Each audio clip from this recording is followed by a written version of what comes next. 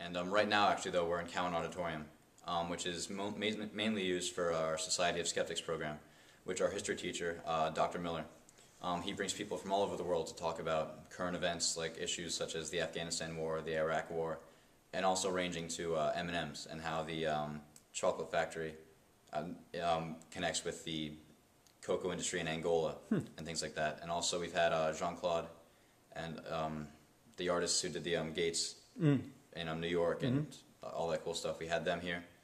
Um, and then we also had NCAA basketball players, um, champions, come and talk about their experiences. We've had Mark Elliott, a man who's suffering from Tourette's, uh, talk about like awareness of that.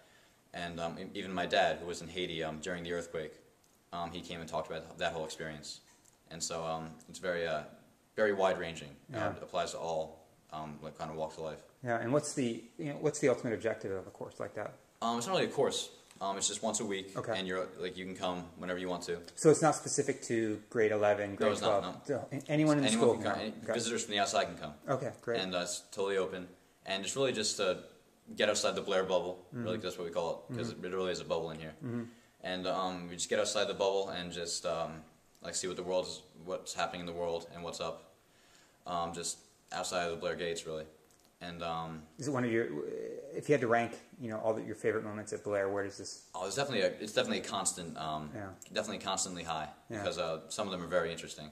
Of course, some can be like about um, Wall Street and everything like that. I'm not really interested in that. Right, it may not So- fit your your particular Exactly. set of interests. But for someone else, right, it's it may be the best thing. Yeah, So uh, yeah, there's definitely a wide-ranging thing that you will find the skeptics that you like at least once in a year. So that's great. it's definitely a great um, program. Terrific.